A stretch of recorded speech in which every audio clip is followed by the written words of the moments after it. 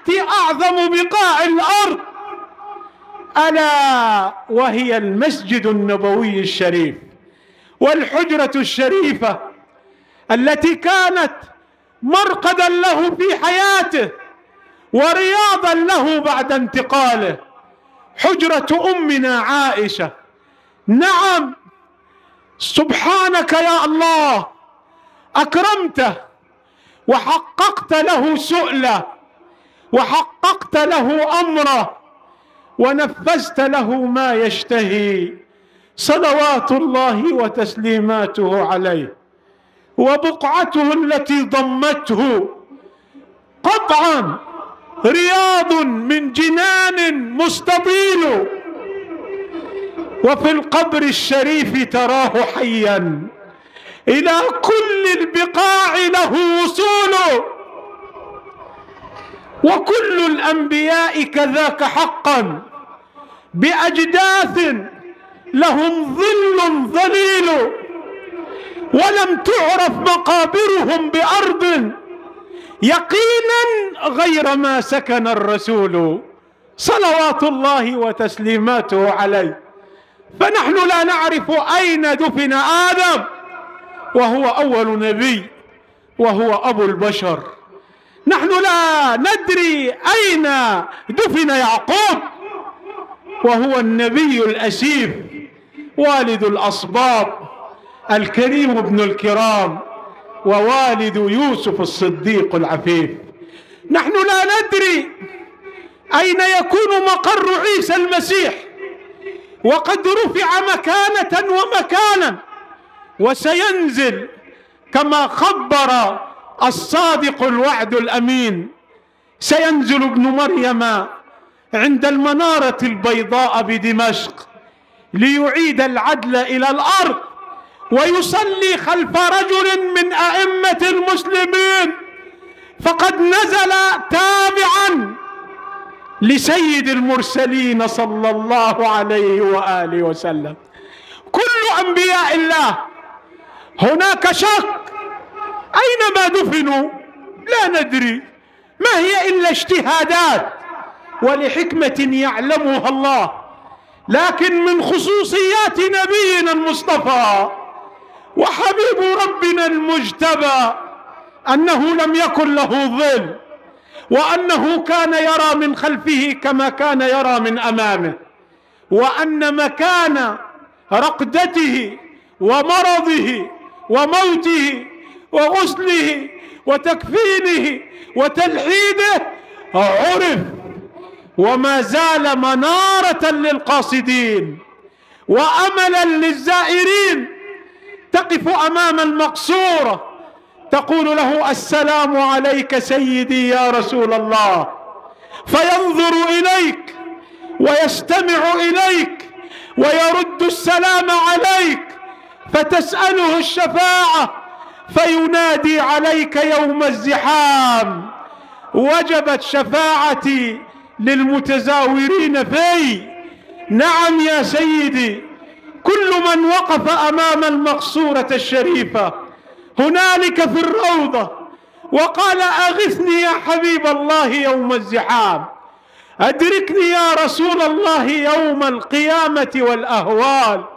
فإذا بك تسجل عنده وينادي عليك يوم تبدل الأرض غير الأرض والسماوات وكل شيء يتغير ويساق الناس إلى أرض المحشر حيث لا سماء ولا أرض حيث لا شمس ولا قمر لكنهم يحشرون تحت الجسر وفي الظلام الدامس حتى إذا ما أقبل المولى في عليائه وتحرك عرشه وكرسيه. يستنير المكان وتستنير البقاع. وينظر الناس بعضهم إلى بعض. من أين جاء النور؟ فيأتيهم النداء من سرادقات الكمال والجمال والجلال. وأشرقت الأرض بنور ربها. فاللهم عمنا بفضلك. يوم تشرئب الأعناق وتتفتح العيون وتتطلع إلى صاحب العرش وإذ به يأتي وقد سبقه سبعون ألف يجرون زمام الكرسي والعرش وهنا يأمر مولانا أن ترفع الحجب وأن تكشف الستائر وينظر ربنا إلى الخلائق نظرة عطف ورحمة. يا عبادي ويا عبادي أنا السلام وأنتم المسلمون وأنا المؤمن وأنتم المؤمنون وأنا الواحد وأنتم الموحدون. هذا جمالي فشاهدوه وهذا جلالي فعظموه فتشرئب الأعناق. وتتفتح العيون. فما أعطي المرء يومئذ أجمل ولا أنبل ولا أحلى ولا أصفى ولا أشهى من لذة النظر إلى وجه الله الكريم. اللهم حقق واستجب. اللهم حقق واستجب. حقق لنا الرؤية يا ربنا. لنراك في جلالك وبهائك. فمن نظر الله إليه لا يعذبه أبدا. ومن تبسم الله له فلن يرى النار أبدا.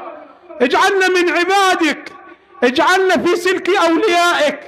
ارزقنا النظرة ولذة النظرة إليك يا ربنا. واجعلنا دائما من أهل الحضرة. لا تباعد بيننا وبين ما نشتهي بين ما نطمع وما نريد. والله ما نريد إلا رضاك يا رب. والله ما نبغي إلا رضا رسولنا علينا.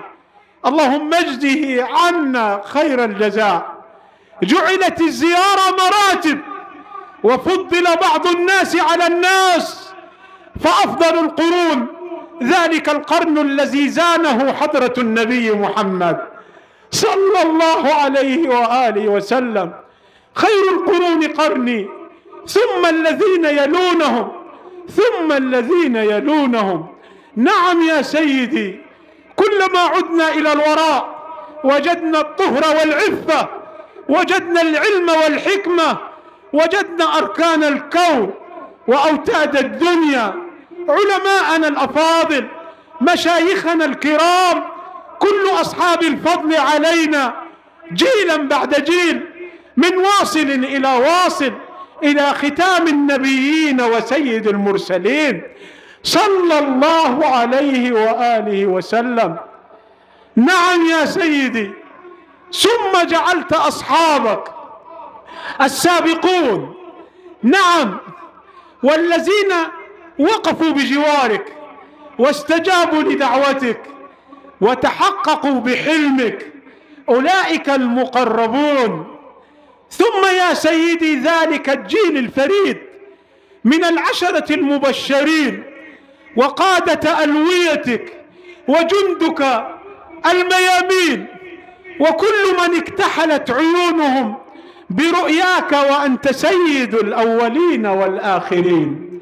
نعم هؤلاء الذين بايعوك تحت الشجرة هؤلاء الذين سعدوا بالجهاد أمامك هؤلاء الذين فازوا بالصلاة وراءك. هذا الجيل الذي صنعته فحمل راية الإسلام وطاف بها في كل الدنيا في كل الأركان. رافعين الراية خفاقة عالية. لا إله إلا الله محمد رسول الله صلى الله عليه وآله وسلم. لم نسمع أن نبيا من الأنبياء بشر أتباعه بالجنان إلا أنت يا رسول الله. لم نسمع أبدا أن رسولا من رسل الله العظام بشر أحدا بعلو المقام في جنات عدن وفي الفردوس الأعلى. إلا أنت عندما بشرت أصحابك يا رسول الله. يوم أن قلت يا أبا بكر ألا يكفيك أن يكون قصرك مقابل قصري في الجنة؟ لقد دخلت الجنة مع جبرائيل فسمعت نهنهة ونحنحة. عمي الحمزة سيد الشهداء. نعم لقد رأيت جعفر بن عمي ابن أبي طالب وله جناحان يطير بهما في الجنة حيث يشاء. نعم يا عمر بن الخطاب إن الله جعل الحق على لسانك وقلبك فأبشر بالجنة يا عمر. عثمان ما ضر عثمان ما فعل بعد اليوم فهو ذا النورين الرجل الوحيد في دنيا الله منذ بدء الخليقة وإلى قيام القيامة الذي يجمع بين فتاتين بنتين يكون والدهما نبيا بل خير الأنبياء سيدنا محمد صلى الله عليه وآله وسلم. يا علي أنت أخي في الدنيا وفي الآخرة. من كنت مولاه؟ فعلي مولاه. يا علي أنت مني بمنزلة هارون من موسى. نعم يا سيدي البشريات تترى على لسانك. تزفها مع التحايا لتطمئن أصحابك ورفقاء دربك الميامين. طلحة بن عبيد الله في الجنة فهو شهيد. عبد الرحمن بن عوف أيضا من الذين بشروا بالجنة. ستدخل الجنة يا ابن عوف حبوا إن شاء الله. نعم يا سيدي. سعيد بن زيد. نعم ابن عم عمر. وزوج أخته.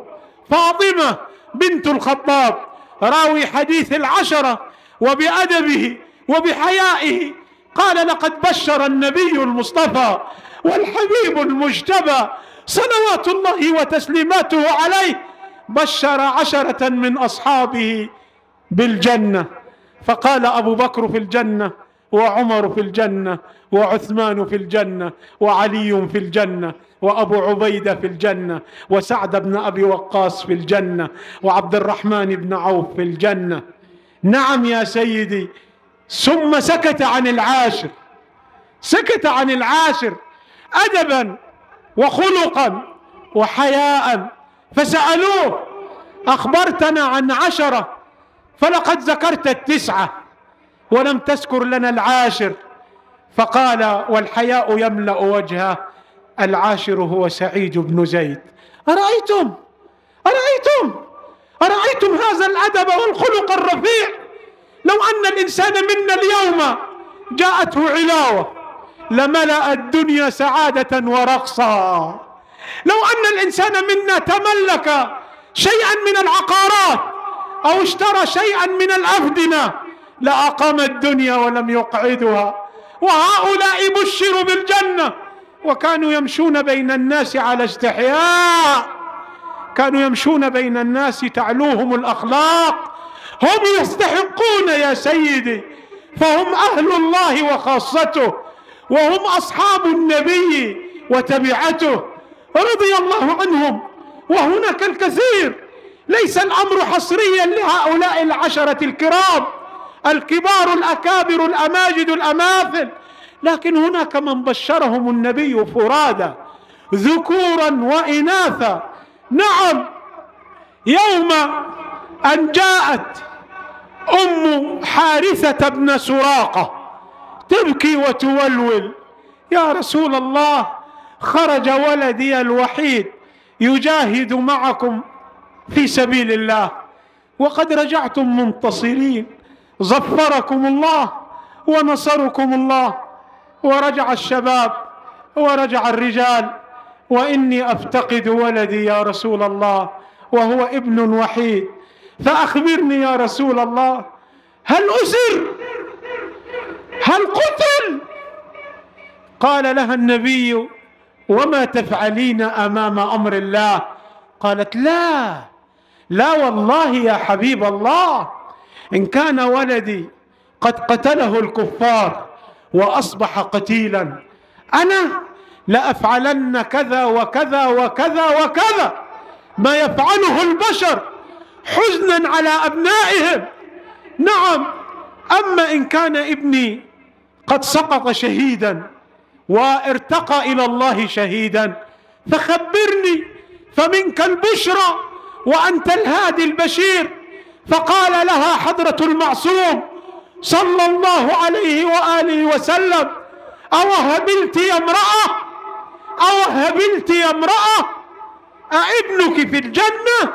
أهي جنة واحدة؟ إنها جنان وإن ولدك قد أصاب الفردوس الأعلى. فقالت بخ بخ لك يا حارثة بخ بخ هنيئا لك يا ولدي.